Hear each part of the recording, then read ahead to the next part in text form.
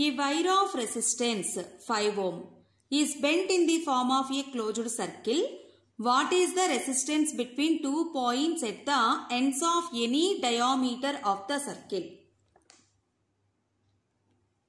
Given resistance of the wire is 5 ohm. Now this wire is bent in the form of a circle. We have to find out the resistance between two points at the ends at any diameter of the circle. So let us take AB is the diameter of this circle. We have to find out the resistance in between these two points. Now this part of the circle, semicircle and lower also semicircle.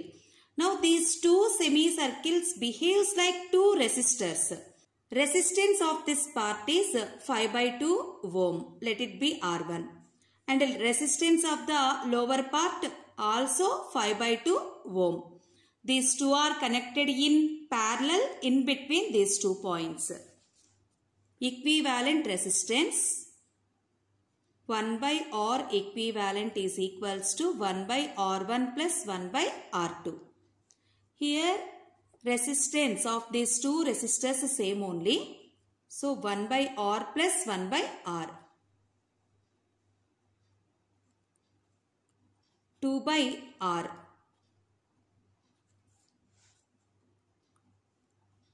R equivalent is equals to R by 2. So 5 by 2 into 2. 5 by 4 ohm.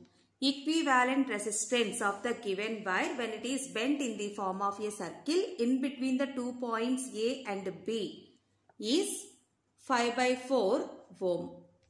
In decimal form 1.25 ohm.